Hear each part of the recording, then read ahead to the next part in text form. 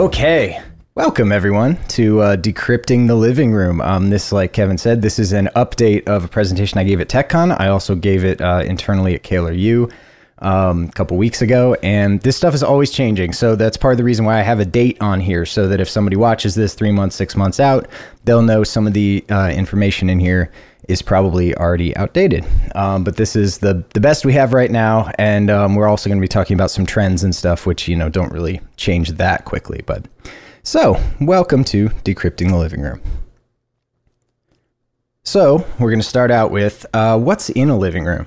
Here's a fairly common living room, right?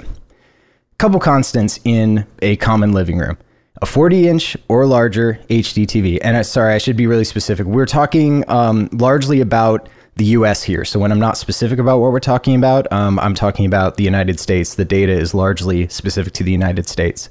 Um, so 40 inch or larger HD TV, and you sit about nine feet away from it. Um, that nine feet is actually pretty constant between the US uh, and Europe. Europe sits a tiny bit far farther away. I think it's like 9.8 feet, um, but functionally about the same. There's also a bunch of variables uh, in a living room. Variables like cable boxes, streaming devices, gaming systems, sound systems, all kinds of other stuff in addition to those constants. So while there is sort of a baseline that we can target in people's living rooms, there's also a lot of variability once you get outside of that um, those those couple baseline constants. So let's talk about the biggest I guess you might have a couch that's bigger than your TV, probably, but you know the biggest technological baseline constant, which is the television. It's a viewing distance chart. Everybody loves these. Um, so this chart is a 60 ppd uh, pixels per degree viewing distance chart. This is basically this is based on um, the same science that's behind the eye chart at your eye doctor. Basically, the the you know the E chart. Um, we can a person with 20/20 vision can resolve about 60 pixels uh, per degree, which is a measurement that takes takes into account um, both distance and resolution. Um, so based on that measurement of the human eye, this chart shows you where um, the differences between the different video resolutions become noticeable, and you can kind of see that if you line up where the uh, the nine foot mark is, you know you can kind of carry it over to 4K, and you start getting into fairly big uh, TV sizes pretty quick. Now there was some uh, work done by NHK out of Japan um, a few years, I want to say two or three years ago, uh, working in 4K and 8K and seeing um, what people could actually actually discern and what they were feeling about the content. And their research indicated that even though there might be physical limits, like with rods and cones and that kind of stuff in our eyes, we can, because we have amazing brains and do a lot of processing in those brains, we can actually uh, at a functional level resolve a lot higher than that 60 ppd. So here's a viewing distance chart based on uh, the results of the NHK work, which indicate about 200 uh, pixels per degree. And so now you get into some really, really, really big uh, screen sizes here once you, you know, carry across the viewing distance of about nine feet. And what does that tell us? Uh, in an average living room with a nine foot viewing distance, your 4K TV should be 146 inches diagonal. Um, I know all of you are just uh, really excited about putting a 146 inch TV. Maybe some of you actually are, um, but most of us that would um, be fairly ridiculous in our living rooms. So the moral of this whole viewing chart story is ignore viewing distance charts. They are for presentations and form arguments. They are not for real work. What we really want to talk about is actual viewer behavior, what humans actually do in the real world, and then target our efforts and uh, shape our efforts around real human behavior and not just, you know, charts and forums. So, excuse me. so here's real viewer behavior. Real viewer, viewer behavior, again, in America, is buy as big a TV as I can, sit about nine feet away from it, and buy a new TV roughly every five years, but this number is shrinking, and we'll kind of get a little bit into that in a, in a bit. Um, but that is what real people do in the real world. Yep. I lost my focus on the thing. There we go. All right. So, TV households. According to Nielsen, there's about 118 million, a little more TV households in America. And this is an interesting trend graph because it gets towards uh, buying a new TV um, every roughly five years and cycling the old TV um, into another room. So, You can see 1997, one or two TVs, almost 70% of people had one or two TVs, not as many had three or more TVs. But then you see the number of three or more TVs rising 2001, 2005, 2009. As people are buying new TVs, they're cycling the old TVs into their second rooms or third rooms or wherever, you know, kitchen, playroom, whatever. Now we're starting to see that trend flip. You can see 2009 to 2015 people are buying, they're still buying new TVs. People are always buying new TVs, but they're not as often going to be cycling those old TVs into other rooms of the house. Couple reasons for that. Number one, TVs just don't last as long. You have t- you have uh, circuit boards that are a lot more dense. They're a lot more prone to heat failure. A lot less able to be repaired. Uh, you also have the obvious rise of mobile devices. So everybody's got a screen already. Everybody's got a screen in their pocket. They've got tablets, they've got laptops, that kind of stuff. So there's less of a need to have a screen on a dresser or in a wall uh, in every room because a lot of people are carrying screens around nowadays. So what do people actually have? And this is this data is a little old, but I like this chart better. So I have a little newer data on a uh, less pretty chart in a second, um, but I like the way this this uh, makes it look. So you can kind of see um, 94% of households uh, have HD TV, have an HD TV. HD TV is very important to this conversation. So if you are still running SD channels in 4.3, you are not properly targeting your audience at this point in time. Most people, most people, most in bold, have an HD TV as their primary TV. That's what we should be targeting. So if you've got SD channels, you should really be thinking about and working towards uh, getting them to a 16:9 aspect ratio, native 16:9. Um, also got smartphones, obviously over 80%. That's that's a pretty obvious thing. Um, we all have seen the rise of mobile um, everywhere. DVD players, VOD, uh, DVR, SVOD, uh, game consoles, 44%. I'll talk about game consoles a bit later on. Um, enabled smart TV. So there's two big takeaways from here. One is that HDTV thing I just mentioned, but also this enabled smart TV thing. This is a very, very American specific thing, and this is a very new thing. In the past, Americans have not enabled smart TVs. We buy them, but we were not plugging them in. We were not uh, connecting them to the internet, and we were not using the smart features few reasons. Our broadcasts were not really smart enabled, so we didn't really have much to do there on the over the air stuff. Um, we also, the TVs themselves were kind of terrible. The apps they had were terrible, the operating systems were terrible, and they um, were not a great user experience versus using something like a Roku or an Apple TV. But that's changing. And so we're seeing this enabled smart TV thing 43% year over year growth um, from Q1 2016 uh, to Q, or sorry, from Q1 2015 to Q1 2016. That's huge growth, and that's going to be a huge thing going forward for a couple reasons that I'll get to in a bit. Um, here's more recent data. So this is Q4 2016. So now we're comparing a little more recently. This is the Nielsen Total Audience Report does a really good job of pulling these overall numbers. Um, so you can see there's the HDTV number and there's the enabled smart, uh, excuse me, smart TV number. Uh, now it's at 35% year over year growth. So that growth is slowing a bit because as you get everybody enabling it, eventually that year over year growth is going to slow down because you're going to get everybody with their smart TVs plugged in. So, remember when I said everybody's got smartphones? So, the average number of screens in a house is 7.3 screens. And that's a mix of TVs, smartphones, laptops, tablets, and then you get down into desktop computers, video game consoles, um, that kind of stuff. So, obviously, some of those don't have screens. So, we're kind of aggregating two types of devices, but the average number of screens. Um, Sorry, they are including video game consoles. That's a little weird. So data's a little skewed. So this is actually a really good um, example of why you have to look at all the data and only and not only look at parts of the data because the way they're doing some of this data some some studies are capturing things that other studies are not. And we'll get into that a little more when we talk about ott and streaming devices. Um, but it's very it's a very particular methodology that they use. And depending on the questions they ask you may have an audience member say no to the same question that they might have said yes to on a different study. Um, so the numbers can be a little off study to study to study, depending on how those studies were conducted. So I have a few little TV tidbits uh, that I couldn't really fit anywhere else, so I just kind of put them on this slide. TV manufacturers are starting to drop tuners. Um, that's a little less terrifying than it sounds, um, which I'll, I'll, why I'll get into in a bit. Um, but be aware that not everything that you think is a TV is really a TV. Technically, you can't call it a TV. It doesn't have a tuner. It has to be called a display or a monitor. They've you know they've got the FTC's got words for it. Um, but be aware that some TV manufacturers, traditional TV manufacturers, are starting to drop tuners. People also don't just watch TV; they're on phones.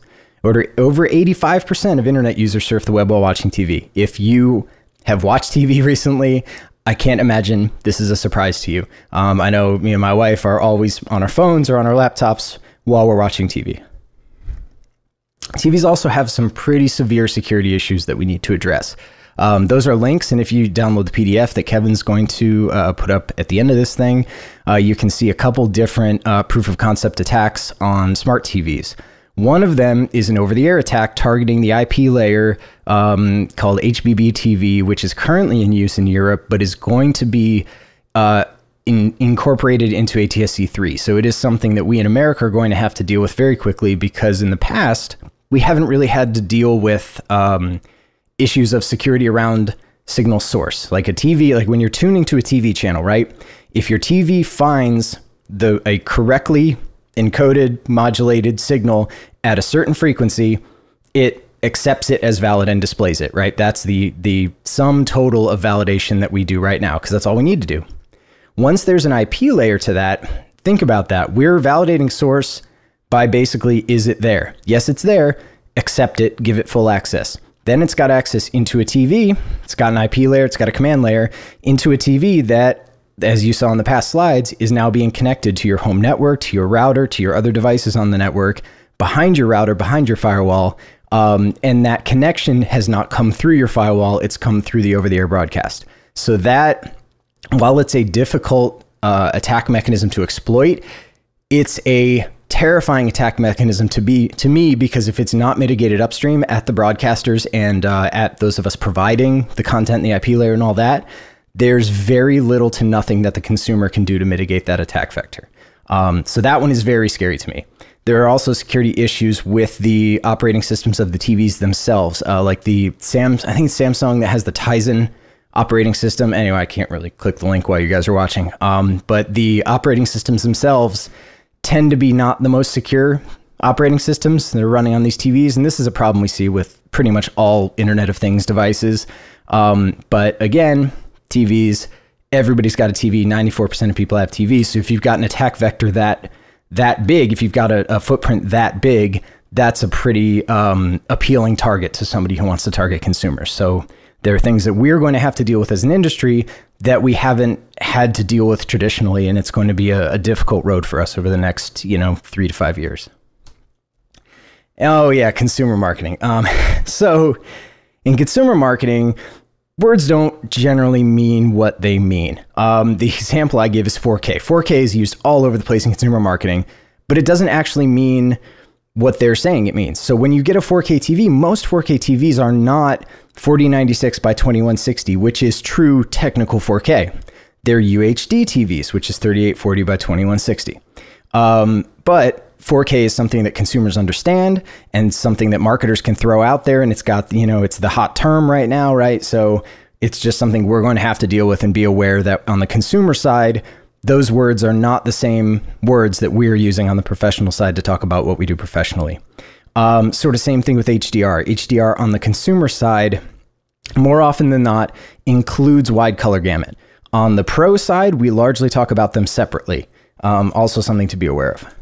And in consumer marketing, a lot of it just makes no damn sense. So here's a random sample of consumer marketing stuff.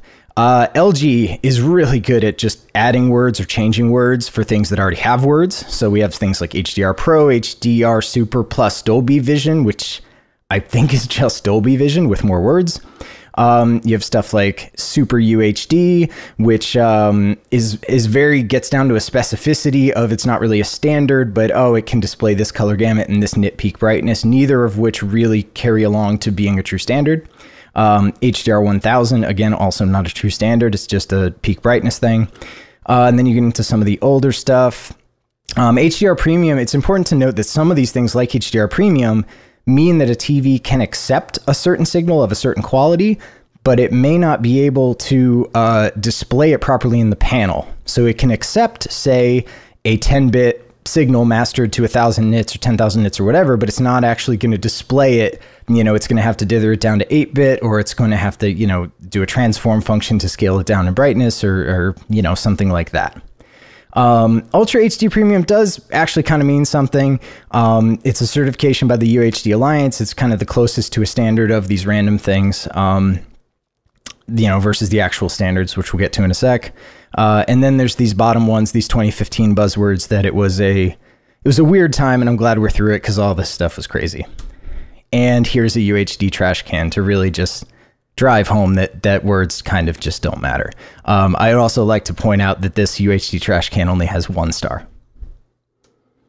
So before we move into connections, this is one of those points that Kevin mentioned. Good point to stop. So I just threw a bunch of stuff at you about TVs and about devices in the living room, um, overall adoption and stuff like that. Does anyone have any questions on any of that stuff or anything you want me to address that I haven't? We we do have a couple things in there. Um, Chris. The first the first question is which 4K TV is best on the current market and what specs should we consumers ask about at big box stores? Oh yeah. So first don't ask at big box stores um, because they a lot of them work on commission and a lot of them, you know, I hate for this to be a, a bad mouth of big box stores, but it is it's a business model designed to sell you something versus a business model designed to educate you, right? So it's better to go online and do your re- research. There's a site called Rtings, RT, you know, ratings, but rtings.com that does very technical reviews of TVs that, um, and they do the same measurements on every TV. So it's very easy to compare TV to TV to TV. Um, there's some others that do it. I think CNET's got a group that does it. Um, look for those. Look for sites that are doing the same repeatable high level technical testing of TVs. Um, beyond that, there's really no one best TV, right? You want to generally you want to buy as big as possible. Um, there are two different backlighting mechanisms, um, LED and OLED, which I think I get to in a bit, but whatever, we'll skip to it now because um, got asked. Um, OLED, you do get the same very wide contrast ratio. You get that dynamic range, but the peak brightness is lower. So if you're in a a uh, really bright room, really sunny room, you're probably going to be better served by an LED TV than an OLED TV, uh, just because that peak brightness doesn't get high enough yet. The tech isn't there yet to really drown out really sunny rooms. Um, beyond that, it's you know it's one of those what can you afford? But right? It's do the research, figure out what's the best.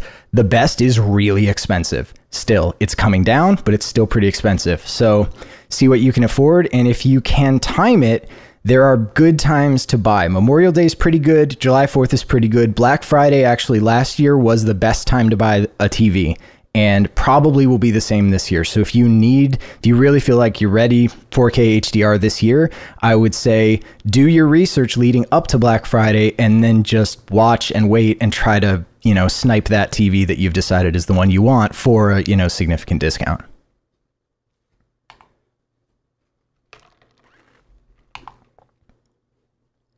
We got anything else on questions? I was muted. Sorry. Uh, yep, what was no the website? What was the website again? I'll throw it out into the chat window. Yeah, Rtings, R T I N G S dot com. Basically, ratings without the A. Okay, cool. Yeah, there you go. Um, next They're out question. of Canada. I, they do good I work. I think I might be able to answer this one, but I will leave it to you because you're the expert. Uh, do smart TVs have to be hardline connected to my modem? No, they most of them nowadays either have Wi-Fi built in. That's the most common, and that's the most common you're going to see, um, or they have the ability to add a USB Wi-Fi dongle, which sometimes they're super specific, and you got to buy their version, and it's a little more expensive. Um, but nowadays, nowadays, almost every uh, current TV has got some wireless mechanism uh, to connect to the internet. Okay. Um, Couple more. Are 2K TVs a thing I should avoid?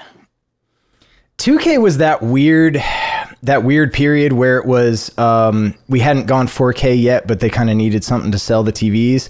Um, I don't know that it's something to avoid. I just think it's something we're going to see less of as the years go on. You know, every new TV is largely going to be a 4K TV. So you're not even going to be able to buy lower than a 4K TV in probably a year, year and a half in terms of a new TV.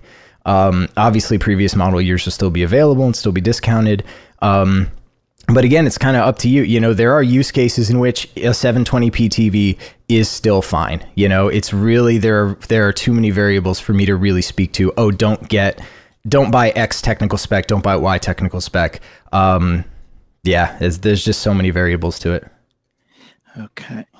So um, we got a couple comments on the security topic uh, from Bill Hayes, and he just wanted oh, hey, to share. Bill. yes, say Bill. Thank you. Um, ATSC3 chose not to incorporate the hybrid uh, broadband TV, which is prevalent in Europe. Not to discount that security issue, but I don't think. But he's saying that they meant that might not be as big an, an issue as it might be for ATSC3. Um, so I just wanted to add that in. And then he wrote, just to add more confusion to the UHD definition, the UHD forum now considers 1080p with HDR and WCG as part of the UHD Phase A content parameters. Can you put that into English for our non-technical members of the audience today? Awesome. I I mean basically what he means is that they're going to include 1080p when they talk about UHD. So that's another great example of words don't mean words. Um, so when uh, that's oh, that's terrifying. Um, so yeah, so I guess now when we're talking about UHD, we're not limited to a resolution. We're also going to be talking about 1080p with those um, those additional features, those HDR and, and wide color gamut, um, which I'm going to describe in more detail in a little bit. So if you don't know what those are, don't worry, we will get to it. Um, also, the the thing about HBB TV that is good. Um, I am my bigger concern is that the way we do signal validation is by is it present on a frequency and that's something we need to stop regardless of because we are still going to have IP layer stuff in ATSC3. I'm glad we're not going with the same one that's been demonstrated attacks on it, um, but we do need to have a better um, server client authentication mechanism than just is it there? Is it modulated right? Cool, I will do whatever.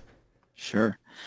Uh, got one more how much content is actually available for 4K TV? I only see sports mostly being offered in 4K. So 4K, the content that is available in 4K is largely online content. The online stuff came first, um, and it's Netflix has it, Amazon has it. It's a little hard to find. Um, that basically you have to Google for the tricks to find it, and there are normally specific search terms you use to find the the stuff that is 4K, the stuff that is also there's HDR stuff, there's wide color gamut stuff. Um, there's also some satellite uh, stuff. I don't, I'm not totally sure if it's available in America yet, but there are satellite services worldwide that are providing 4K content. It's not super prevalent. Um, so we'll see it hitting the satellite services next, and then it's going to hit cable, and then it's going to hit broadcast, is my opinion of how the content is going to, to become prevalent. Also, obviously, you have UHD Blu-ray discs, so physical media. You can get a very solid um, 4K HDR wide color gamut picture out of those now. I was going to mention uh, the the Blu-ray discs for those of us who still like a hard copy of something. I think um, doesn't Sony have some kind of black box thing that you, appliance that is, is offer subscription 4K? Yeah, that that thing kind of dropped off because really nobody bought it. Um, I'm not sure if that service is even still active. Um, my recollection is they they killed it, but I'm not 100% sure. It was not widely adopted, but there was when it was a big push for Sony selling 4K TVs. They were trying to sell this box because they their big problem trying to sell them two years ago is there was no content. So they said, "Here's a box. It's got content. You can get more content through this box. Buy it." Um, but that was really kind of a stopgap until the the digital services were catching up and caught up. Um, now the digital services have largely caught up and are in in any way that they can control the content, they're they're pushing for 4K content for HDR content. Um, even Chromecast, the Chromecast Ultra supports 4K HDR. Um, you can get 4K HDR content on YouTube. Just Google for it and you'll find it, and it actually looks amazing. Yeah. And we got a couple more uh, comments from Bill that he fully agrees regarding the security, and ATSC has a committee focusing on that. He's also sent me the link to the Phase A content specifications. So if you want to geek out on that, I will add that to the chat window. And that is all the questions we have right now, Chris. Sweet. Yeah, Bill is Bill has always been the guy carrying the torch of let's let's be clear about what we're talking about. And I fall into it too and he calls me out on it. Where on a call I'll call something 4K when it's not 4K and on the pro side, we do need to be very careful about talking about what we're talking about, knowing what we're talking about when we're talking about these things and not lapsing into those consumer marketing terms that are so easy to lapse into but lack the degree of specificity that we require for pro work. So thank you, Bill, for carrying that torch, and we need to all carry that torch. All right, connections. Uh, I keep losing focus on the window. All right, there's only one connection we're going to talk about today, and it's HDMI. Um, it's basically the living room is almost entirely standardized on HDMI. Um, everybody who's not running things HDMI, who's running through other other cabling mechanisms, is largely dealing with legacy equipment. Um, me included. I've got an older receiver, so I'm still doing you know some optical audio stuff and this and that. But all of the formats going forward, and really all of the the formats over the past few years on the consumer side, have been tailored for HDMI and only HDMI. Um, and there's a few reasons for that, which we'll get into as we talk about HDMI. So, what is HDMI? HDMI is the high definition multimedia interface. It is digital only, it's audio video interface. It is backwards, excuse me, backwards compatible with DVI, uh, D, and I, um, but it goes beyond DVI. Has audio, which is great for, you know, the stuff we do has copy protection, which is great for the stuff we do, also great for the movie studios, content creators. That's partly why HDMI is the one connection to rule them all because it's got a lot of backing from uh, from the movie studios and from the TV studios who want to protect uh, their their content on the physical side, on the physical connections. Uh, it's also got Ethernet. I I don't know of many, if any, people who use the Ethernet part of HDMI, and that was also true of audio return channel until very recently. Um, audio return channel is basically a mechanism by which you can say you've got a receiver uh, that's the core of your living room. You've got all your sources going to your receiver, one HDMI cable going from your receiver to your TV. Your receiver picks what content is played on the TV. Problem with doing that, TVs nowadays have a ton of processing in them. They're upscaling, downscaling, subsampling, supersampling, all this crap that they're doing. Um, if you have motion flow turned on, God forbid, uh, it's doing that stuff too. Um, and that introduces a ton of latency. So if you're going through a receiver, um, you're going to have sync issues because your video is going to be behind your audio, and that's the worst case to be in. Human beings can only accommodate 10 milliseconds max of audio leading video before our brains start getting really weirded out and confused. Um, so this audio return channel allows us to overcome that because it lets the TV send audio once it's done all its processing, send the audio signal back to the receiver delayed, and lets the receiver play it out and play it out in sync.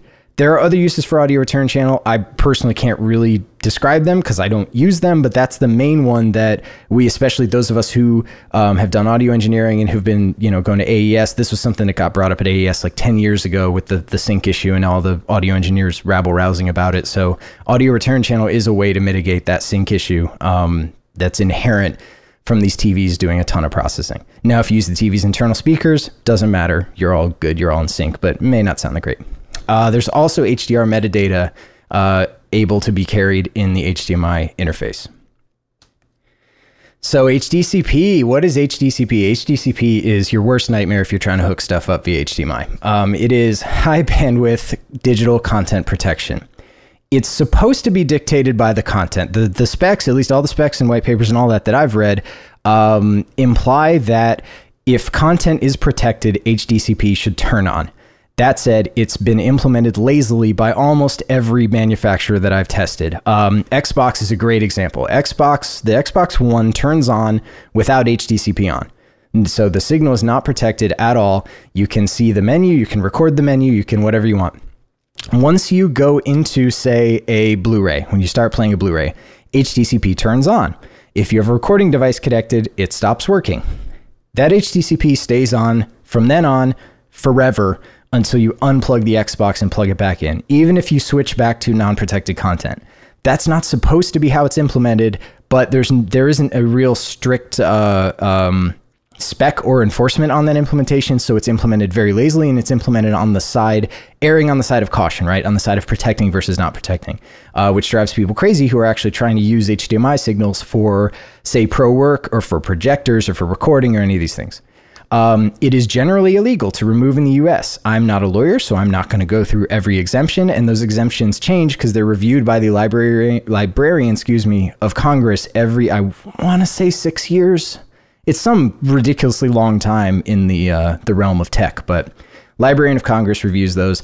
There are exceptions. There are exceptions that are specific to a lot of stuff we do, to education, to nonprofit, to documentary work. So if you're looking at a scenario where you may want to slash need to remove copy protection, um, and this doesn't apply just to HDCP, it just applies to other uh, versions of copy protection as well, like disk based. Um, look up what the latest exemptions are. You may uh, fall under an exception and be able to do it legally. Uh, if, and if you're hooking up HDMI equipment, get a black screen, you can probably blame some HDCP problem somewhere in your chain. This is probably the biggest question I get about 4K. Do I need new cables for 4K? No. Maybe. That's, I hate not seeing the audience because normally this gets a laugh. I don't know if anyone's laughing. I hope you are because it's funny in like a sort of sad, I want to cry kind of way. I laughed, um, I laughed, Chris. All right, thank you, thank you, Kevin, thank you. I need that that positive affirmation. I'm realizing that like I, I really need a crowd in front of me. Otherwise, I'm like I don't know if I'm doing a good job. Uh, I'll just assume I am. Um, so this is this is why you may or may not need good, or this is why you may or may not need new cables. So the dotted line you're seeing right here is the line between HDMI specs, between HDMI 1.4b and HDMI 2.0. You'll see the, the, bit, the bandwidth on the far right is the bandwidth that the cable's got to accommodate to pass these signals, right? Um, so HDMI 2.0, you see that jump to uh, 2160 60p. So that's 4K 60p 420 color sampling 8-bit. That's 8.91 gigabit. So that's an HDMI 2.0 signal. So you need devices that can support it. But technically, your cables, those same cables uh, that worked for HDMI 1.4b, should work for 2.0 because that's the same bandwidth, right? Problem with that is that this line is the line for the spec for the cables. Now we have the what the cables we're talking about are high speed cables, which have existed for kind of forever. So if you bought an HDMI cable in the last like 10 years or so, it's probably a high speed cable. This was the spec that the cable manufacturers were told to design to. Now, they were just told to design to that. There wasn't a ton of industry wide testing and certification. There wasn't really a, a strict certification process. Um, so your cable, you know, your your, uh, cable experience may vary. Um, so you can see why this is a problem because these cables only get you the first little hop of the way into HDMI 2.0. And that's a problem because this next hop that goes above 10.2 gigabit is the spec for UHD Blu-ray discs. So you could have a cable that technically works for HDMI 2.0 that technically shows you a 4K 60 signal, but as soon as you play your UHD disc, it goes black, or you're on the edge of the digital cliff and you start getting little pixels and little, you know, the the little sparklies that we get when we're at the edge of the digital cliff. Uh, you maybe get some green ringing around the edges. These are all things that I've personally seen in my house, doing poor jobs hooking things up to each to each other. Um, so you can see how that can be a problem. So then everything from then on up, if you've only got a cable that works at 10.2 gig, you're not going to be able to do any of these other formats that are all the way up there. And that very top format doesn't exist yet, by the way. That 72 gigabit, that's not included in any standard. Currently, that's just a projected thing. Um, so what do we do? How do we know if a cable can do this stuff? You can test it. Number one, the nice thing about digital is when you plug it in, doesn't work, and you've eliminated the HDCP stuff that I mentioned earlier as a problem. Um, you know it's the cable because digital is largely it works or doesn't work. There's a there's a very small margin uh, in which it only half works. So the best way to test it is just plug it in, see if it works. If it works, cool, you're good to go.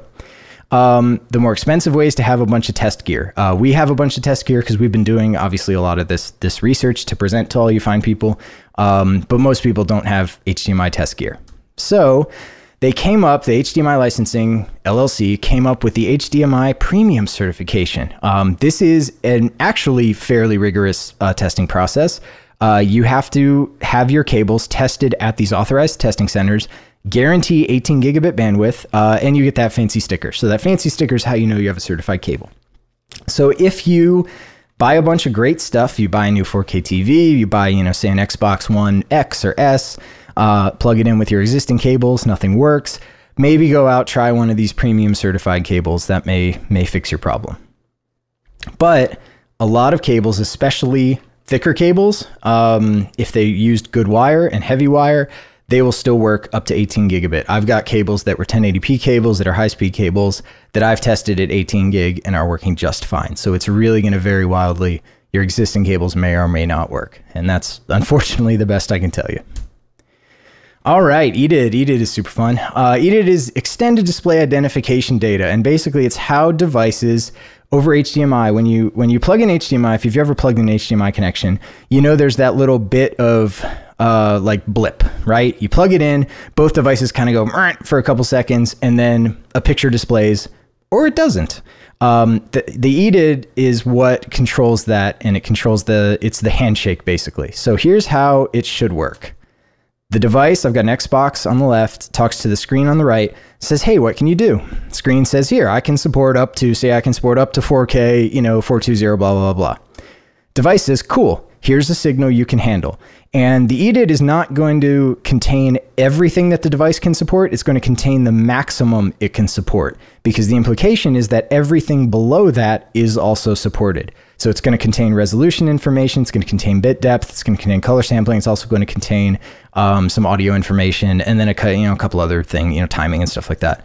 Um, gets super technical. I'm not technically a signals engineer, so I don't get super deep into the engineering of it.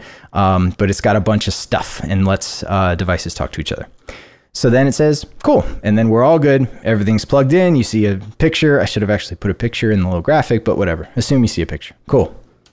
Here's how it sometimes works. Not good. Um, this happens tends to happen with cheaper devices. Uh, it tends also to happen when you have things in the chain that uh, are intermediaries, like switches, routers, matrix switches, you know, stuff like that. Um, stuff that delays the signal. So if you um, also if you have devices that are really cheap and have very small buffers or very short timeouts, stuff like that, it is possible for these handshakes to have problems and not work, uh, and then the devices go to sleep. Normally, if you can't solve this, say you've got a device that's not great, I see this a lot with projectors, especially older projectors that are still in service, still do a good job, but maybe don't do the handshake right. Um, there's something called EDID uh, ghosts or ghosters that you can put in the chain that are always sending out uh, the correct EDID information and sending it out uh, quickly. And so you can eliminate handshake problems by always having a device in the chain that is specific for handshakes. And uh, you can get them on Amazon, they're pretty cheap, um, but they tend to solve that problem. But be aware that this is sometimes a problem you can have with largely older devices, um, largely cheaper devices, you know, not manufactured super well. So here's what a firm handshake looks like. Uh, this is really nice. So the Xbox One series of game consoles, Xbox One S and the Xbox One X, which is coming out this November, um, are actually pretty. If you want to get into testing consumer signals um, and especially 4K HDR stuff like that, the Xbox One S is a pretty cheap platform on which to do that because it it can generate a whole lot of signals, has a whole lot of content you can access, and it's got this nice little details thing that tells you what it thinks the device it's hooked up to can support. So this is everything happy. Got it hooked up to a sweet 4K TV. It can do all the stuff I want it to do. Cool, it's all happy. This is less good. Uh, it can't support, it can do 4K, but it can't do uh, 4K 10 bit, it can't do HDR. Um, not great. So the difference is, and the pitfall for consumers, on this particular TV, I had to go into the general settings, not picture settings, and enable HDMI Ultra HD Deep Color, which is also a just pile of words that kind of don't really mean much. Um, I had to enable this on every input and restart the TV before the Xbox would actually give me this nice, everything's going to work, it's all good. Um, this, I think, is a big takeaway from this presentation is that there are so many gotchas with this stuff. Everything is very, very touchy. The HDMI spec, the HDCP spec, uh, the EDID stuff, the the settings on each individual TV. It's all very, very touchy, and it's very easy to not have it set up right. So expect some level of pain if you're trying to set up a, a correct chain to display, um, especially from consumer devices, 4K, 60, HDR, wide color gamut content. Um, this took me forever to figure out, and I have a pile of test gear, and I give presentations about this stuff. So it's it's really scary for consumers dealing with this stuff. And all of this changes. Not only can those those connections and those handshakes be um, be a little unstable and a little unreliable, the output, output format change, can change to follow the content. So using the Xbox again as an example. So here is the Amazon video screen on Xbox. I have a two and a half year old, so we watch a ton of Daniel Tiger. Um, on this screen, it's putting out uh, RGB 444, 8 bit, 17.8 gig. So if I had one of those bad cables, one of those older cables that can only do 10 gig, I would see nothing on this screen, which wouldn't let me actually get to the content. When you get to the content, it drops down to 11.125 gig, which is the same. This this spec now, once I'm playing content, is the same spec uh, as the UHD disk uh, format that I went to earlier. But to get there, I had to go through a much higher bandwidth screen, which may not have worked through my old cables. So this it's there's there's this variance in what you're watching, and it's going to change from content to content to content. Um, Netflix actually they're one that doesn't change. So their menu uh, is that same roughly UHD spec, um, and then when you uh, no, I don't have an example of their content. Anyway, when you go into their content, this is the same. So, and Netflix is actually consistent with it, and I like that better as an app design choice because I think that's a more that's a better experience for the consumer. That's a more consistent experience for the consumer. And then there's the Xbox menu itself, which also outputs at 17.8 gigs. So you can't even get to the Amazon app if you don't have good enough cables. It won't even work on the home screen. That one I think is actually pretty solid because if you see the Xbox screen, you know that you can support anything that's going to run on the Xbox. So that's your that's sort of like your EDID, you know, uh, uh, highest spec, right? You're hitting that high spec right out the gate. You know that from then on, anything that plays is going to be that spec or lower, and your equipment can handle it. But if you can't see it, you're going to be very frustrated because you won't even know this unless you watch this presentation, which hopefully you did. All right, so we'll stop for a sec before we get into HDR and wide color gamut and see if anybody's got questions on any of the, the connection and, and interconnect stuff. Yep. Um, Chris, first, I'm pleased to report that we have multiple confirmations of laughter. So I wanted you to be assured, All right. on that. That's what I'm talking about. Thank you, everyone. um, we got a couple uh, Xbox comments and questions from Justin. He mentions that Xbox doesn't have photo mode in the game Horizon Zero Dawn, so just thought I'd pass that along. That's pro- so. There's there's a few people who know me personally who are probably just here trolling me. That's fine. That's fine. All right, and then uh, his question is: Does the Xbox Kinect still connect to the TV stations? I recall being able to change channels with this device.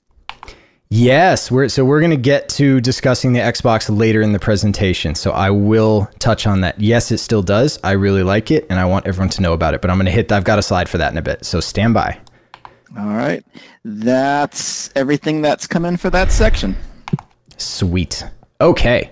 So we will move on. I said that I would hit on HDR and WCG, which are high dynamic range and wide color gamut. Um, these are things that are very prevalent in marketing um, and are, I think, a bit more important than this conversation about resolution. Um, so this is a poor representation of HDR that I put together for Twitter real fast to just show people kind of here's here's what it is. So standard dynamic range on the left, high dynamic range on the right. We're talking about when we're talking about dynamic range, we're talking about contrast, right? We're talking about the the distance between the brightest white and the blackest black contrast is the most important thing to the human visual system. It is more important than resolution. It's more important even than color. Um, so it's the reason contrast is the reason why when you're driving in fog, um, you can't regulate your speed without looking at the speedometer because we don't, our brains don't have enough contrast in dense fog to do the interpretation to figure out how fast am I really going. So that's why in fog, there's a lot more accidents because our brains just are not designed to deal with it. So I would argue that HDR, high dynamic range, is a more important big jump for visual quality uh, on these new TVs than 4K is. So let's go to a better representation. Um, this is from Larry Thorpe's uh, white paper, the uh, high dynamic range white paper that he did for Canon. Um, it is an excellent white paper uh, if you're interested in what HDR is, how it works, the technology behind it. Um, I've got a link to it right here. There's a link in the PDF that you can check out. I would strongly recommend reading the whole thing um, because it is he did a really excellent job explaining it. But you can see that on the on the left, you've got the new consumer HDR. There's a much wider range. So nits nits are a measure of brightness, are a measure of physical brightness of the screen. So current screens don't get super black and they don't get super bright. New screens do. And that's actually a physical difference. It's not just the content, it's not just the content looks different. The screens themselves, the panels themselves, are putting out more light in the white areas and less light in the black areas. So let's talk about the specs. And these are actual specifications as opposed to marketing specifications. So the first one we're going to talk about is HDR10. HDR10 is kind of the the baseline HDR that pretty much everybody supports across the board in anything that supports HDR. It's an open standard, maxes out at 10-bit depth. There's one HDR setting for the whole piece of content. So its critics will say that, oh, if you have a really bright scene followed by a really dark scene, it's not going to look as good when mastered for HDR10 because there um, there's no metadata to allow for changes between super bright scenes and super dark scenes. So it's not going to look as good. Um, it's not going to carry over the artistic intent. Is the the argument against it, which I'll address later when we talk about other ones. Uh, it requires HDMI 2.0A and greater. And it requires HDCP 2.2 for protected content like Blu-rays, UHD Blu-rays, that kind of stuff. Uh, this is the required standard for HDR on UHD Blu-rays. So that kind of got it in the door. It is the requirement, sort of the same reason, you know, back in the day for DVDs, uh, Dolby Digital was the required audio standard. Everything was optional, and that pushed um, that pushed a lot of things toward Dolby. Same thing here. Since it's a standard on these discs, a lot of other places said, oh, TVs are going to support it. You know, Netflix is going to support it. Amazon's going to support it. So it's real easy to make that argument of, oh, this is sort of what we're standardizing as a baseline. There are other things, which I'm going to get to now. Um, it's also not backwards compatible with SDR displays, which is another um, mark against it, I guess. But the, the specs that are backwards compatible have gotchas in that backwards compatibility, which we'll, we'll talk about. So Dolby Vision is the same underlying tech basically as HDR10, um, but it builds on it and is is um, more higher quality. Uh, it's a closed standard though, so TV makers have to pay to include it. So that's one of the marks against it. Does go to 12-bit depth though, which is mark for it, higher than 10-bit. Uh, and it's got HDR settings can change throughout the content, so you don't have that um, problem where you're going from dark to light, um, you can actually optimize on a per scene basis what it looks like, and so you're going to get better visual fidelity. Technically, it only requires HDMI 1.4 plus. It there's some some magic that it does basically to get its signals through that 1.4. Um, again, I I haven't gone that far down that rabbit hole of the signals engineering part, so I can't tell you exactly what it does. But technically, you can put put a Dolby Vision signal through a 1.4 pipe. Um, it's also optional on HD Ultra HD Blu-rays. Um, it's not. Uh, it's included in the spec, but it's not required. It's optional. Can be backwards compatible with SDR displays. Um, I believe there are gotchas in there. I don't know specifically what they are um, because I wasn't able. They don't like really talk about that a lot. Um, and I don't have enough Dolby Vision stuff here to do the testing myself. Um, so be wary of that backwards compatible thing, but they are technically backwards compatible. And I, I, don't know if Bill Hayes is like typing away on what it actually is, but Bill, if you know, let us know. Um, so HDR10 Plus, this is my favorite one. Um, so HD, it's HDR10. It's solving the problem of HDR's difference between it and Dolby Vision, right? Dolby Vision, the big thing is it can have dynamic metadata and it can change. Well, Samsung and Amazon announced literally the day I gave this presentation at TechCon uh, that HDR10 Plus is now a thing, which is HDR10 with the addition of dynamic metadata. I think it's the ah SMPTE 2094 spec maybe question mark um, it's this the spec that adds dynamic metadata basically to uh, to HDR10 um, so that's one of the gotchas that's no longer a gotcha between HDR10 um, and Dolby Vision. Now, of course, manufacturer sets have to actually roll out, you know, firmware and software and all that to support it, um, which they've largely said they're going to do. Um, but it's still super new, so I haven't actually kept up on how they're doing rolling that out. But expect to see that in newer TVs coming out. And then there's HLG. So HLG is a big one in the pro world, and it's the one that the BBC and NHK are pushing because it is simple for live production. It's simple for, you know, sports and events and that kind of stuff.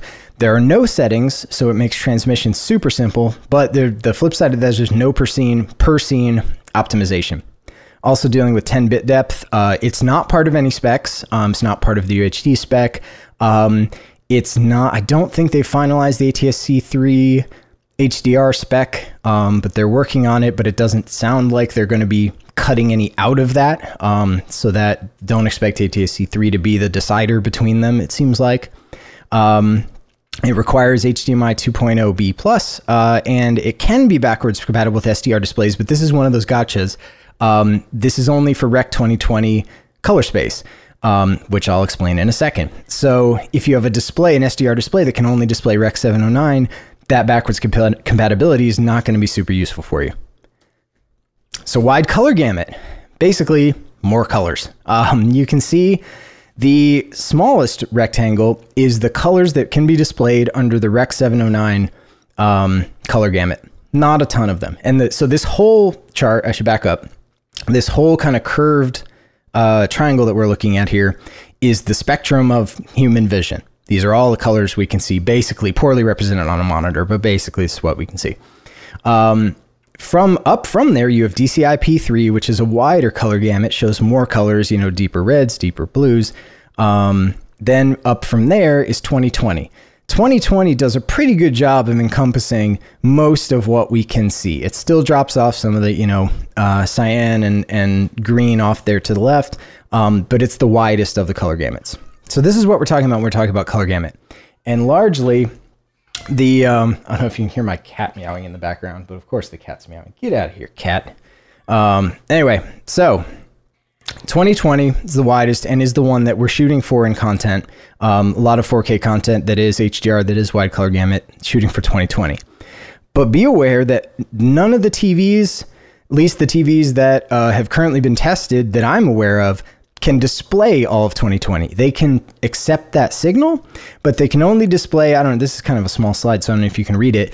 They can display pretty much all of the DCI P3, that, uh, that um, solid line triangle, but they can only display up to, it looks like 77% is the highest any TV goes uh, of the 2020 spectrum.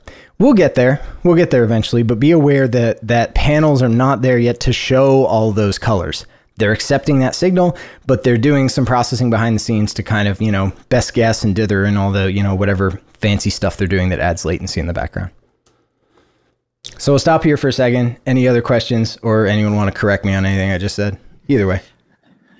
Sure, uh, sure, we have a few uh, comments to share. I have literally more illuminating information from Bill, which is that nits are candelas per square meter.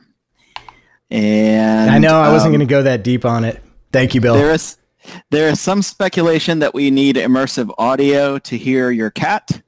well, that's good. And and uh, Bill's passing me a link to the SMPTE uh, presentation, so I'm going to put that in the chat as soon as I can get it. I can't copy it out of the software. Um, and the question is, was Odin the cat who was meowing? No, it was Alice. Okay. The, again, um, people who know me probably have two cats. It was it was Alice. and, and, mine just joined me and just barked at me. Um, yeah, see, it's cats, man. When can when can consumers expect that the standards war for HDR should come to a resolution? Nice choice of words. oh man, yeah. So it's I mean it's something we're all fighting and are still fighting, and it's I don't think we will truly have a this is the way everyone's gone until ATSC 3 is out and broadcasters are broadcasting HDR and we see who does what and uh, maybe who who makes a deal to standardize or standardize in markets or whatever because it seems like there's going to be some leeway once 3 rolls out and it's the spec may not actually dictate everyone do this, everyone do that. So there could be a situation where market by market there's different HDR. I don't think we'll go that way because that's bad for us as a as an industry. um, but technically, I I think there there's a scenario in which that could be allowed under the technical spec.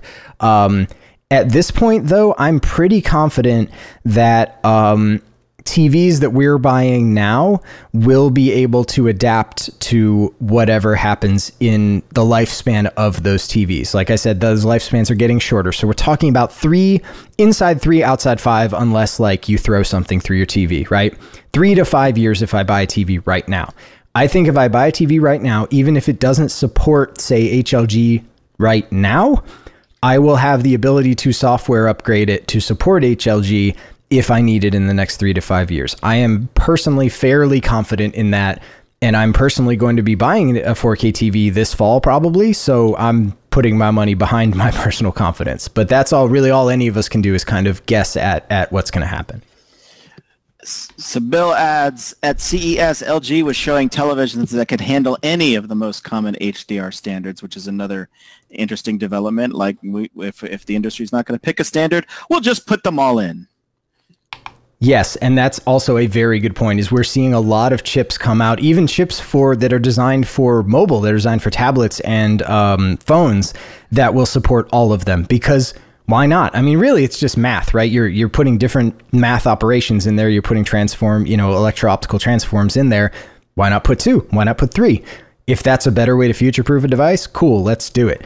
Um, I mean, Sony in the PS4, the PlayStation 4 they put tech in it years before they were actually going to use it so that when they launched a higher spec model, they could flip a switch with firmware and turn on HDMI 2.0 capabilities with HDR in the older devices that were launched years before that stuff was even finalized. So we are seeing uh, manufacturers do this stuff, and it's actually really impressive from an engineering perspective. And that's everything we have right now, Chris. Awesome. All right. So we will get into the other stuff. All the other stuff. Probably not all the other stuff, but like the stuff that I care about. Audio. Audio is a big thing. Uh, so someone made a joke about immersive audio. Yes, immersive audio I think will be a big thing. Um, but another big question I get is about surround sound. Um, specifically 5.1 systems, adoption of 5.1 systems. There isn't a ton of great data about surround system ownership. Um, there were sales numbers, but the the ownership and the usage data is either not there or is not there uh, outside of thousand plus dollar paywalls that I can't afford.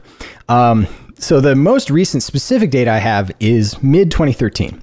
Surround sound ownership was declining and had declined to 29% of households. The problem with this number is that it varies wildly. Um, this is my favorite anecdote from a uh, cable installer from I think a Comcast uh, tech that goes you know goes to people's houses, hooks up all their stuff, telling stories of multiple customers where they bought a 5.1 system and put all five speakers in a row on top of the television.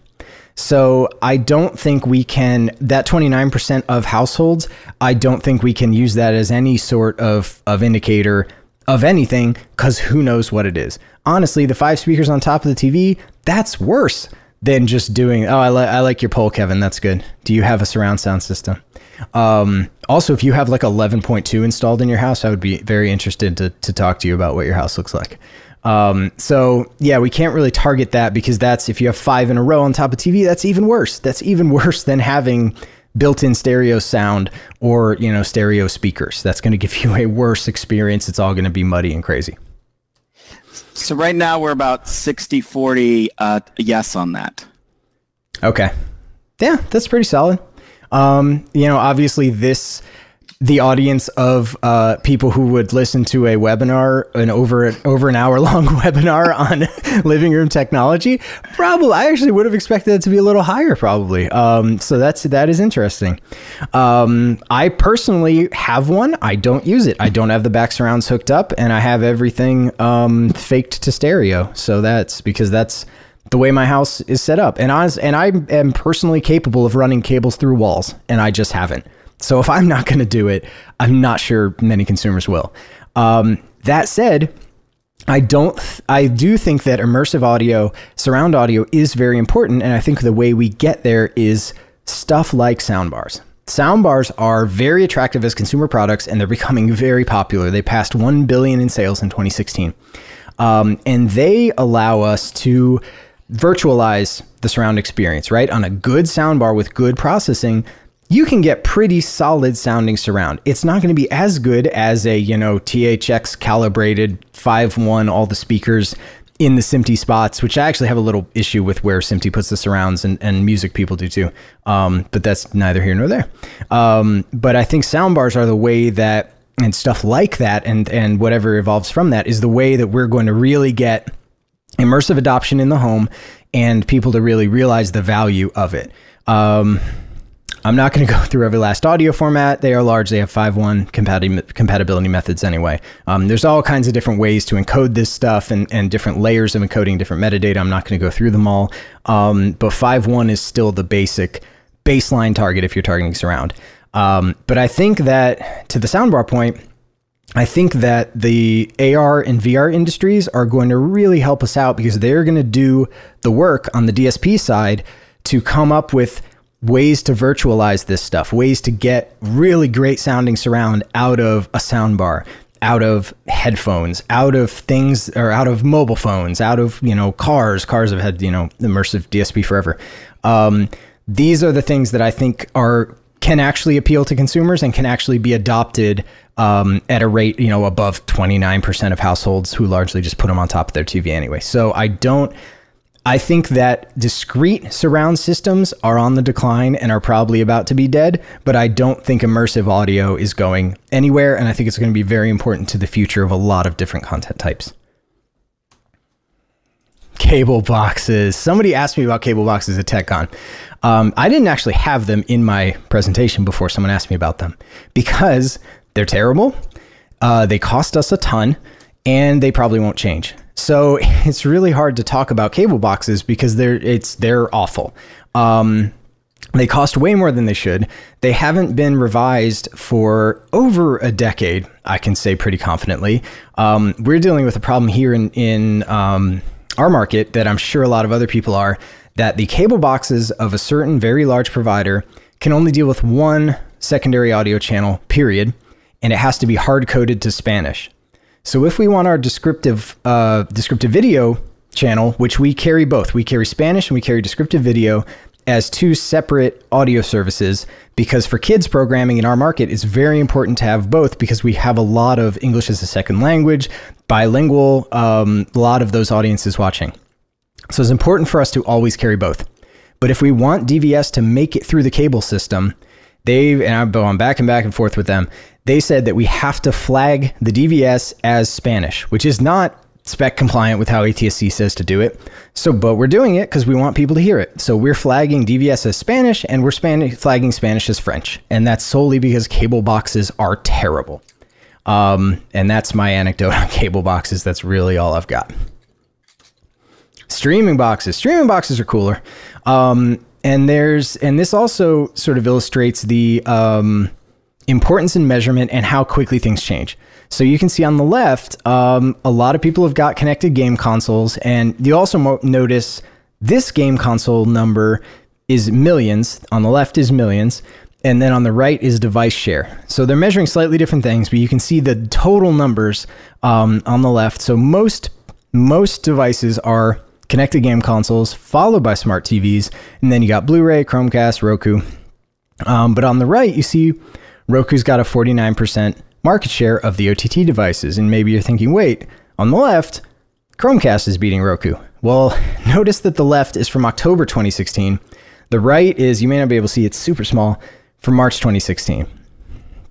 Here's the growth 2017 year over year change. Chromecast is killing it in terms of growth.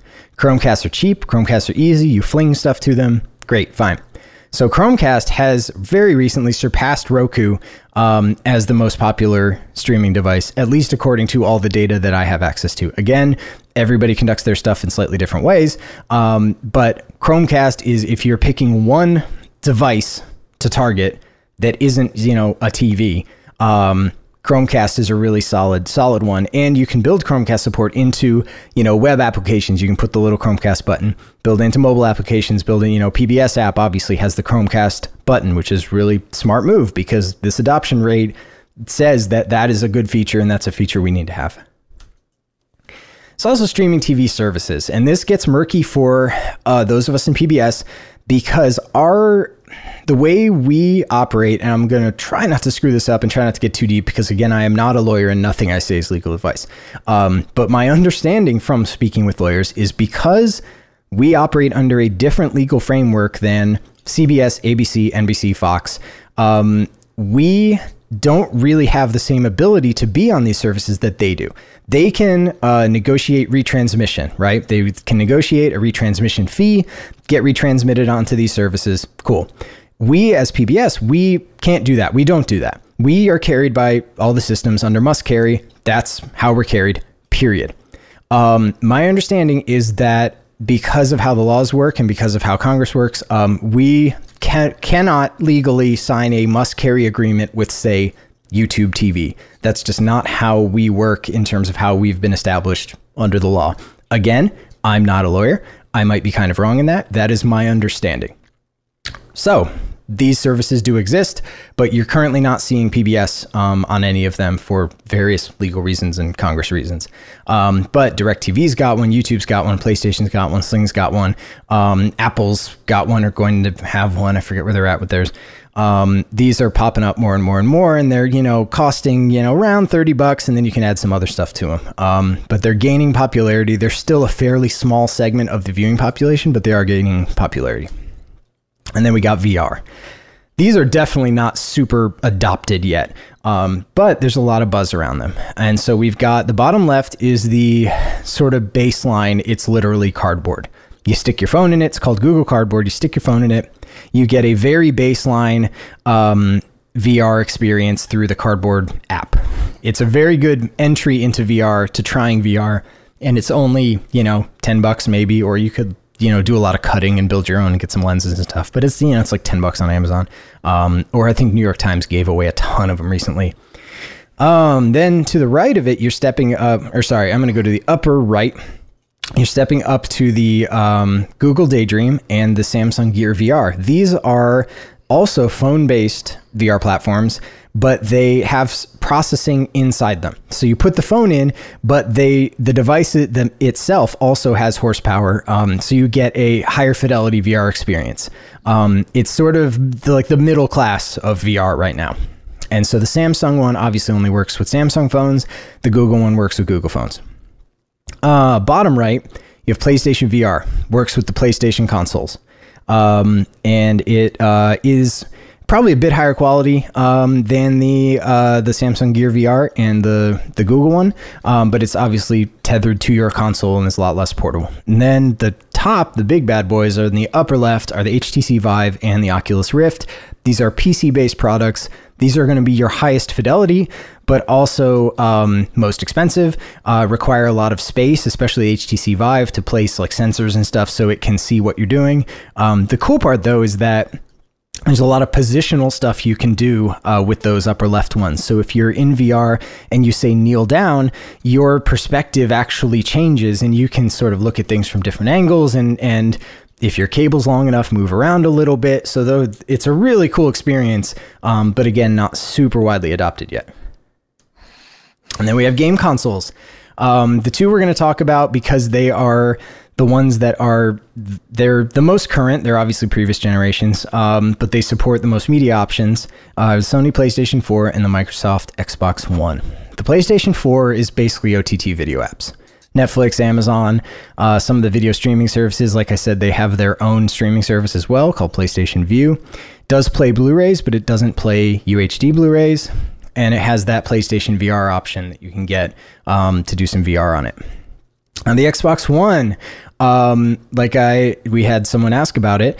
Um, it has the OTT stuff, plays Blu-rays, and it can play UHD Blu-rays on the S and upcoming X model. It also supports USB tuners, so you can plug an antenna into your Xbox One, which is how I watch TV at home, and you get uh, guide data. There's the little, so there's a little guide. It gets guide data from Rovi. So if you ever get a complaint about Xbox listings being screwed up, your programming people need to get in touch with Rovi. That's who powers it. Um, it also supports HDMI input for cable boxes. So if you have cable instead of OTA, you can still watch through the Xbox, um, and the Xbox acts as an IR blaster to change the channel on your cable box. A little bit clunky, but does work. Uh, there's no DVR, but it can rewind up to 30 minutes, uh, and the Xbox also does not have a VR option. So, big thing to be aware of is that you can watch TV through the Xbox One, and it's actually pretty solid. So we're going to stop there before we get into this next section is products that I really like. Um, so does anyone have questions on the the device stuff that I just sped through? Yep, we got some stuff here. Sorry, I just lost my place. Asking a question back. Let's see. So, um, how much is it of a cost is it to buy a soundbar versus a surround sound system?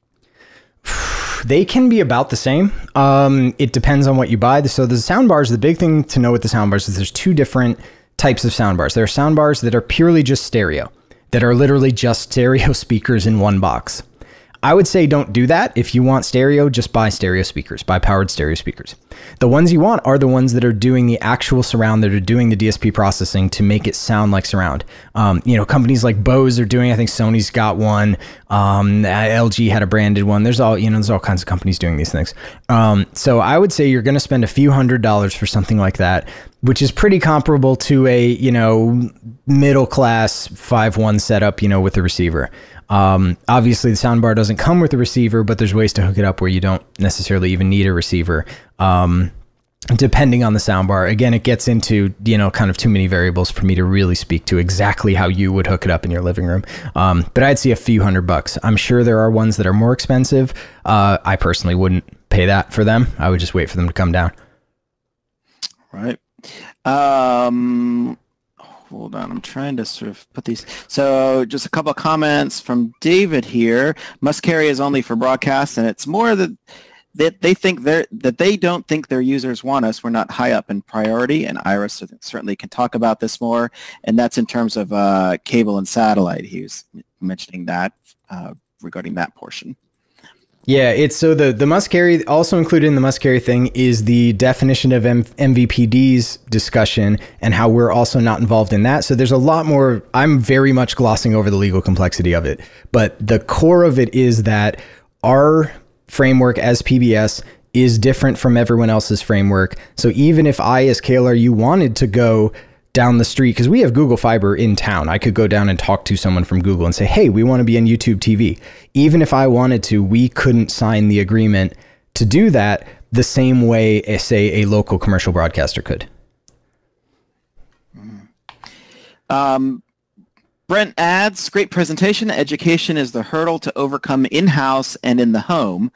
Thoughts on how PBS can be the educator on explaining 4K and UHD to members, aligned with the coming soon availability of 4K content via Passport to members. Maybe this needs to be engineering working with marketing and with member services. Okay.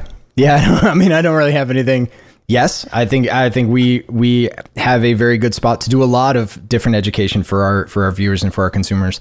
Um, it, the the trouble with that is making sure you frame it in such a way where you don't then end up down that rabbit hole of everybody's different, every variable is different, every consumer has a different level of of knowledge. Um, so that's a very fine line to walk. But I definitely think that we're in a really good spot to um, to put out some sort of educational materials around that and I think for those of us who remember the DTV transition, that we did a considerable amount of work on that front um, going forward. And I think in terms of, um, you know, in terms of when we have 4K material available in Passport, I think that's going to be a huge um, turning point uh, for that service. And um, I, I, expect we would do some sort of full court press of educational fronts on, on any number of levels. Uh, Bill Hayes writes in, stick your potentially flammable smartphone in a cardboard box and then hold it to your face? I don't think so. fair point. So, Absolutely fair point. I just I just thought I'd share that. Um, Bill, I don't think you're supposed to be using those potentially flammable phones um, in uh, any anymore. I think I don't think you can even fly with certain of them anymore.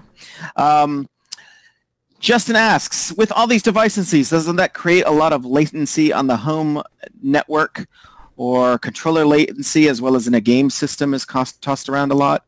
So there, yes, there are latency issues kind of everywhere, and we're going to see them more and more. Um, a lot of them are not not going to be huge deals because most people won't notice them. Like like uh, the big thing that we're going to see with ATSC three is you know these tunerless TVs, right? Maybe it doesn't matter that they're tunerless because they talk to your network that then has say an LG network box that is the tuner, and then over your internal network it gets the the signal and plays it. So there's going to be some latency as the signal flies across your network, but you're not going to notice it because you you don't have a point of reference. You're not comparing it to anything, and the latency is going to be low enough so that you know, say you're watching live sports, it's not going to be high enough latency where you see a goal 10 minutes after everybody else. It's not going to be that high. So most in most situations, um, it's not, there will be latency, but no one will care because it functionally won't matter.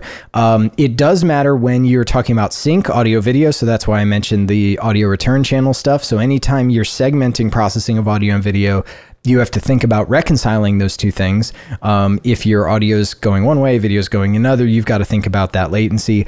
TVs are getting better with those latencies. Um, LG's OLED series had terrible latency when it launched, um, but actually it's come down to I think around 30 milliseconds, which is pretty solid um, for an especially for an OLED TV um, through firmware updates, through just through firmware updates. So there are the ability, there is the ability for um, companies to fix these things post launch because these are basically little mini computers, right, that are just getting fed software.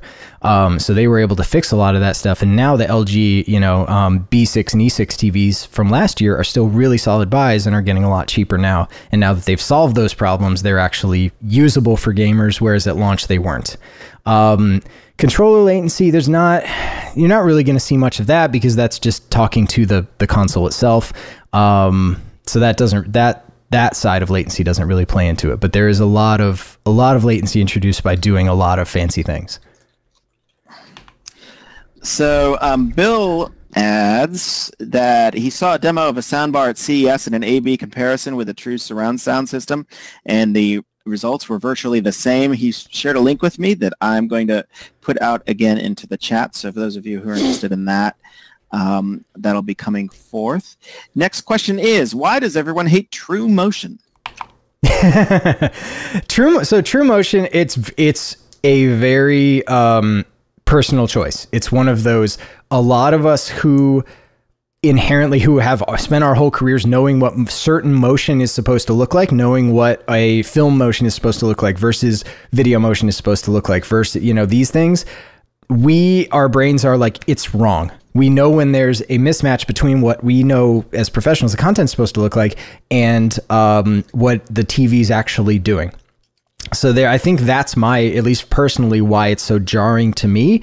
Um, that said true motion can be awesome for certain stuff especially sports. Sports is i think the the one exception where i would say you know I, most of the time I, I hate true motion.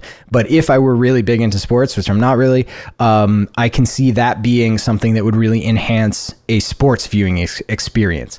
But to have it as a global setting on all the time i think it just makes everything look weird. But again, it's a personal preference thing. It just happens to be that most of us who do this professionally have a very, it's very jarring to us, I think, because of what we do and because of, of what we're used to seeing versus what we're seeing. So I know we're running long, but we're, uh, we're I want to make sure we get these questions asked. Um, next question is, is there any particular benefit to using a limited surround setup like a 3.1 system over a soundbar? Um, I think you're you're not going to have the processing for a a three like a three point one setup doing the processing properly is not really going to be as good as a soundbar um, because stuff isn't really designed to be processed for that, and also all of the the best minds around that DSP processing are working on um, dual speaker source uh, virtualization and immersive sound. So everybody who's working on VR, who's working on AR, who's working on um, all this DSP stuff, the best engineers, audio engineers, software engineers, they're working on dual speaker source stuff. So that's where I would put my money where the the talent is, where the dev talent is. That's my personal opinion on it. Um, I think that no matter what you do, I think having a subwoofer is very important because I think most speakers, even big quote full range speakers, very hard to get um, the same feel, uh, the same just bass response you can get uh, out of a sub.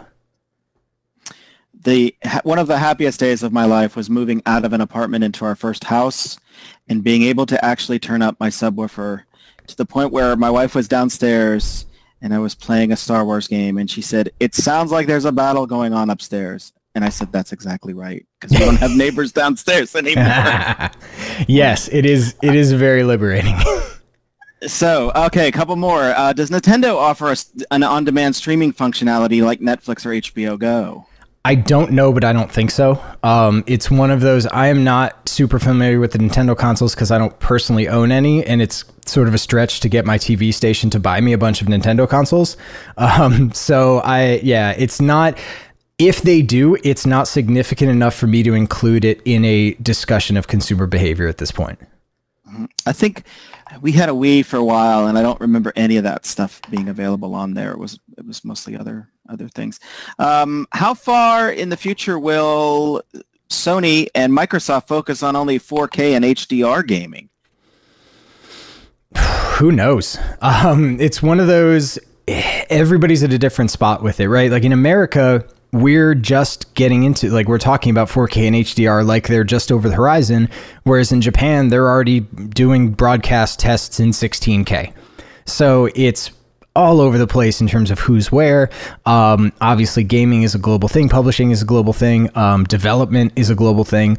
Um, I think that we have a good long runway of 4K HDR wide color gamut being the the high end target um, just because of that's that's again gets right gets back to the you did the sort of common denominator thing. Um, that's going to be the common denominator that's going to unite uh, the U.S., Europe, and um, Asia is going to be 4K HDR. That's everybody's going to be able to support that. Maybe some stuff in Japan supports more. Maybe European satellite broadcasters support more.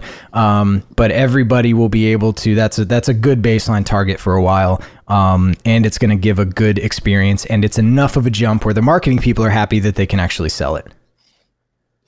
All right, we got uh, two more and one comment, which the comment is, why can't all webinars be this cool? So that's pretty awesome. Yeah. Thank you, Brad.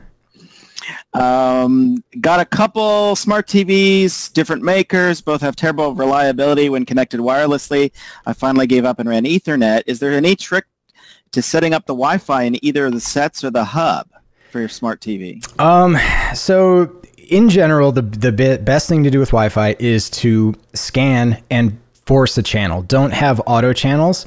Um, there are a lot of routers have this functionality. It does take your wireless network down for a few minutes while it does a scan, uh, but it uses its internal antennas and scans for which of the approved Wi-Fi channels are available um, in your area. So if you're if all of your neighbors are on channel 11, you don't want to be on channel 11. Channel 11 is a very congested place to be in your neighborhood. You want to bounce down to something else. Um, so I would recommend doing a scan. If you can't do a scan on your router, there are apps um, on mobile and on desktop um, that you can scan for them. I don't remember the names of them offhand. There's a bunch of them though. Um, just look, you know, for Wi-Fi channel scanner, and you'll find something. So that's my my big advice is force on your router, you want to force a channel that is uncluttered. And once you force it, though, you've got to every now and then recheck it because maybe you get a bunch of new neighbors, they all go to channel six, and oh no, your channel six is cluttered. Um, so you need to check it every now and then. Uh, beyond that, it's the basic, you know, don't don't have things next to each other. Um, don't. Uh, yeah, don't have microwaves near thing. You know, I, I doubt your microwaves next to your TV, but if it is, move it, move it away, move it away. Um, stuff like that. You're, ba- you're bound to confuse the two at some point. yeah, so it, it's I would say the the best advice is yeah, run a scan and see what your your um, your RF environment looks like, and and sort of try to do stuff from there. Also, honestly, some TV stuff is just terrible. Like we've seen in troubleshooting with people, we've seen a lot of really poor shielding. We've seen a lot of um, wide spectrum stuff where like a TV tuner is susceptible up to like five gigahertz when it really shouldn't be. So it's getting your Wi Fi and that's interfering with TV, stuff like that. And it's that stuff is really just impossible to troubleshoot because that's a design issue. So there, it unfortunately there may be nothing you can do even if you do the the scanning and the testing. So let's see. Uh, the UHD-1 capabilities actually approach the limitation of the human visual system. Bill Hayes will have a column on that in TV Technology in a couple weeks, so you can look forward to that on TV Technology. Um, nice. Bill also asks, do you think VR will have much of a future with broadcasters? One of the chief complaints with 3D was having to wear glasses, and VR requires what is essentially a helmet. Yeah, so VR, I think that VR has a very bright future for very limited applications. Um, the headsets are going to keep getting better and lighter, so eventually we'll get to something where the the trade off isn't that isn't that bad. Um, I think the big problem with 3D is you had to wear the glasses all the time. And you didn't really get much. Like, it wasn't really a mind blowing experience. Whereas when you put someone in a Vive or a Rift, and put them in front of that demo where the like there's a so there's a demo spoilers there's a demo where a T-Rex walks towards you out of the darkness and then walks over you and you're just looking up at it in VR and it is amazing. And you have that moment of wow, all right. So that wow moment, I don't think 3D ever got that wow moment. VR does have that wow moment and that's what you need to sell people. That said, I don't know that it has a ton of use cases. So I think we will get headsets that people are willing to wear, um, but the use cases will still be fairly limited. However, augmented reality I think is the, what's going to be really big for us in broadcast, being able to use um, the the data streams that are inherent to ATSC3 to maybe drive an augmented reality headset. So augmented reality, I actually don't go into this in the presentation, augmented reality means you're looking at you're looking at your regular stuff. You can see your surroundings but then stuff comes over them. Like maybe there's overlays. Maybe you look at someone's walking by you with a nice pair of shoes. You look at those shoes and a little pop-up in your vision comes up with here's here's the shoes. They're 2.99 on amazon. Want to buy them? That kind of stuff. Marketers are you know going crazy for those use cases but there's other less markety use cases for it. I can see that being a really big thing for us where you're watching a show and you have this plus overlay, you know, sort of like second screen experience now, but way less disconnect between what's on the screen and that quote unquote second screen experience because it's all within your field of vision. Still does require some form of goggles, still requires you to wear something, at least until we all become cyborgs. Um, but I think, again, I think something like that could have enough of a wow factor where people would would do it and find it valuable. So uh, one last comment before we get into our section, next section here. Um, for those for those of you working on your uh, smart TV Wi-Fi and, and, and connections, don't run your router into a surge protector. It was crazy how it used to drop, and we unplugged it and plugged it straight into the wall. Our problems were solved. So thank you, David, for writing in with that. And that's everything for this segment. Nice. So yeah, that it's stuff like that is there's always some weird little gotcha with every piece of equipment and that that's i think the big takeaway. There's always some gotcha. No matter what no matter how much you know no matter how much information you have no matter how much research you put into it there will always be some gotcha. Um, but also keeps it interesting so now here's the part where I'm not trying to sell you stuff, but I'm telling you stuff that I bought that I really like. Um, I have no relationships with any of these companies. Uh, I paid full price for all of these things, largely through uh, KLRU because a lot of this is you know involved in my work, but some of it I also bought personally. Um, and these are so some of these are some of my favorite things that I use in pro work that are off the beaten path in terms of professional stuff. First is this little guy. Uh, it's from AverMedia. It's the EzRecorder 130. Um, it's a tiny little box that takes HDMI input and records it encoded H- records uh, an H264 encoded MP4 to a thumb drive. This is how we record uh, when we do Austin City Limits tapings. When the artist leaves, they need to leave with uh, the whole performance with them so that they can go through in time code and tell us, oh, I like this. Oh, I missed that note. Take that out. Um, give us notes on the show. And they need to walk off with that onto their tour bus. We used to do it on DVDs. It was terrible. So now we do it with this little guy. Show ends. We stop the recording, pull the thumb drive, hand it to artists. They're on the bus. They're gone. They've got a HD quality uh, with timecode. The timecode burn-in we do upstream of it, so it doesn't do that sort of stuff internally. Um, but it's just a super simple little device. It has one button on it.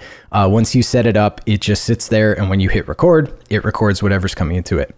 Um, obviously, with the exception of content protected stuff, which none of our stuff is because it comes out of our studio. So, super useful little box uh, if you need to do H.264 recording straight to a thumb drive.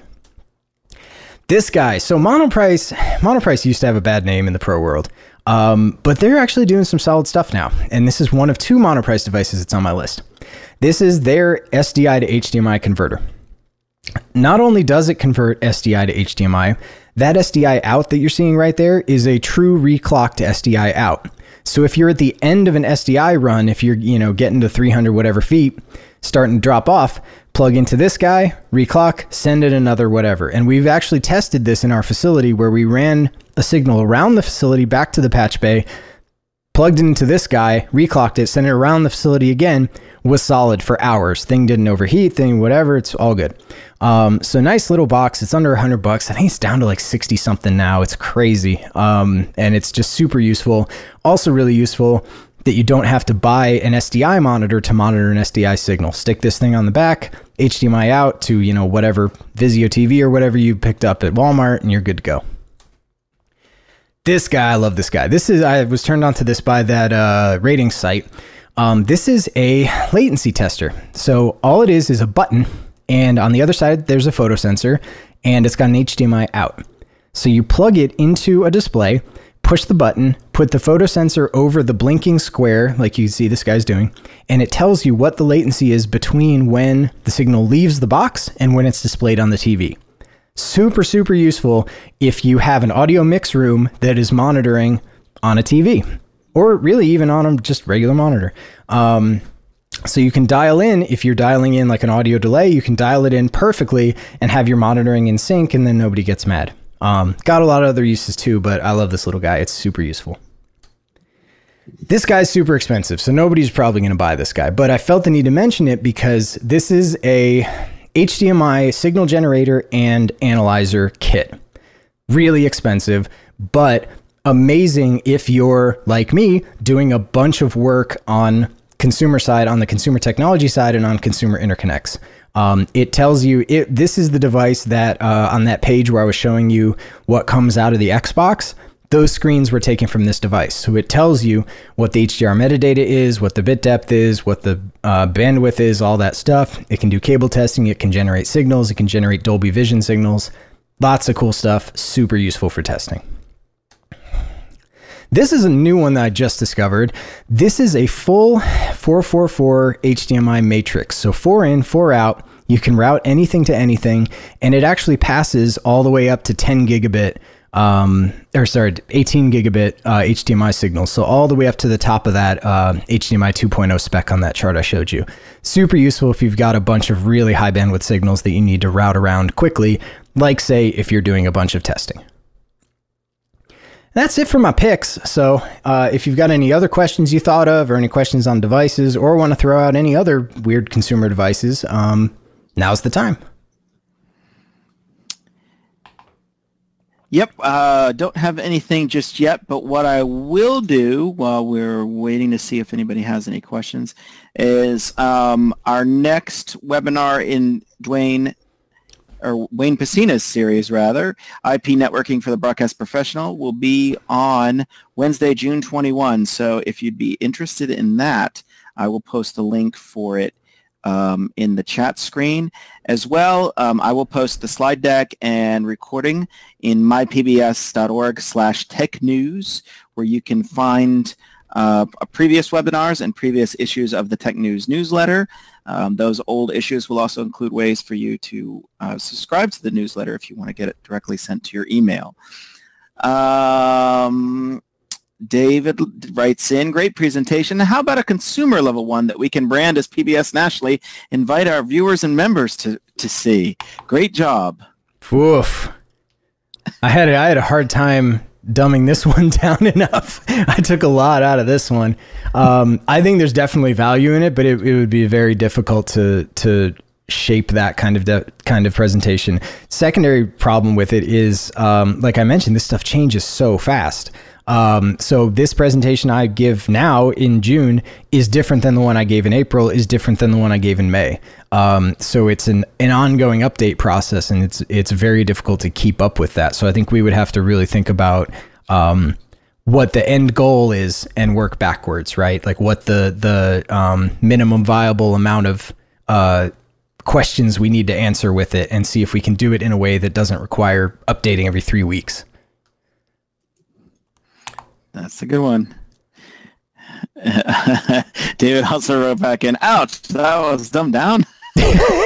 oh yeah, see, Bill, yeah, it's uh, it was funny. Like you saw Bill Hayes kind of sneaking in higher level stuff. Like Bill was sneaking in the real pro level stuff. This is like sort of prosumer level, but Bill, yeah, Bill was kind of jumping in on the side with the real, the, the true pro stuff, which I did try to avoid a bit because we'd be here for days if we go down the rabbit hole, the the technical level of the stuff I was talking about. Yeah, we, we kind of do that at uh, TechCon, and I thank you both for um, help, helping us bring the tech to TechCon. Uh, Brent adds in uh, on that topic, hmm, one minute interstitial 4K HDR education spots for air would be handy.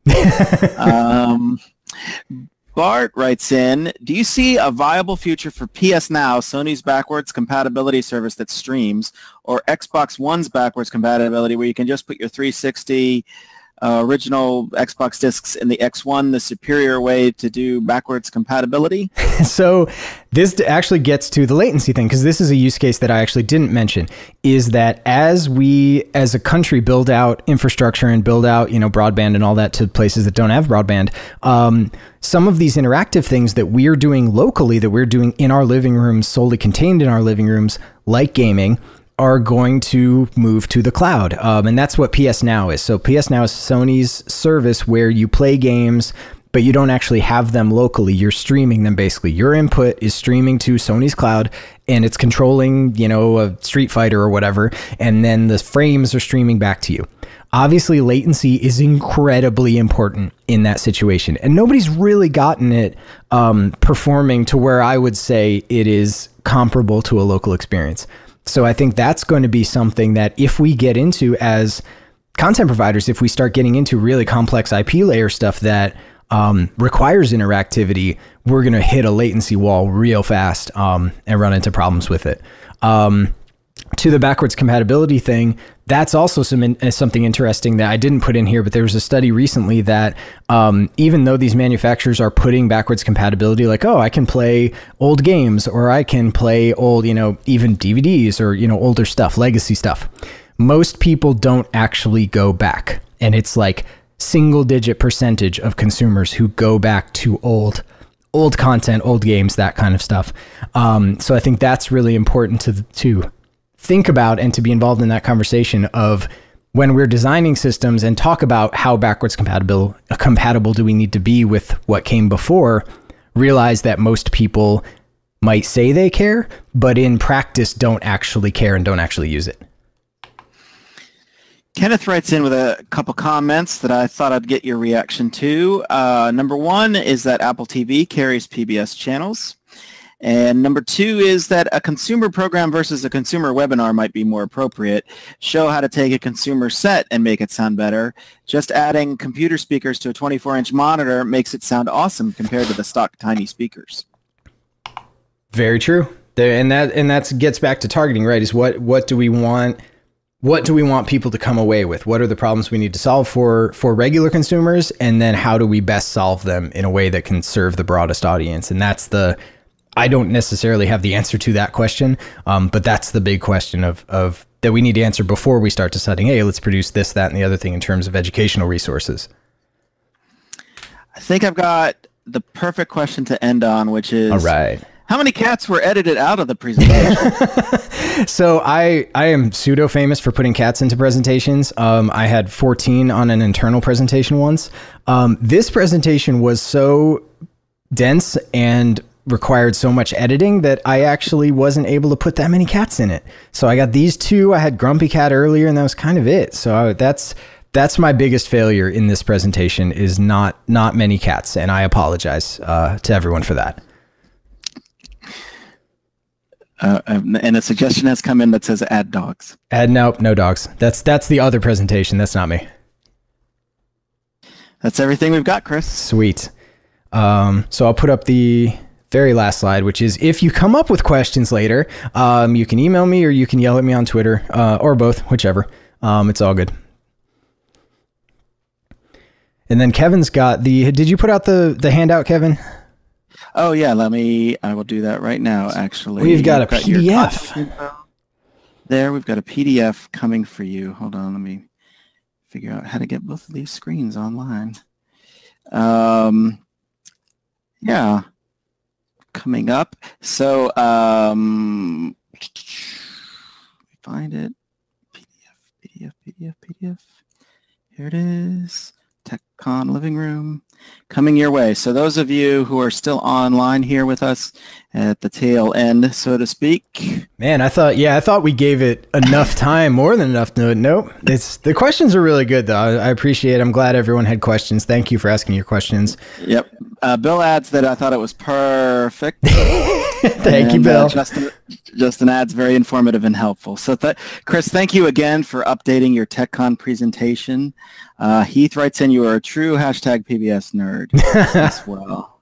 So some good feedback there. Thanks everybody for sticking this out. I know we've we've run a little long. Um, I will have this posted up on my PBS tomorrow.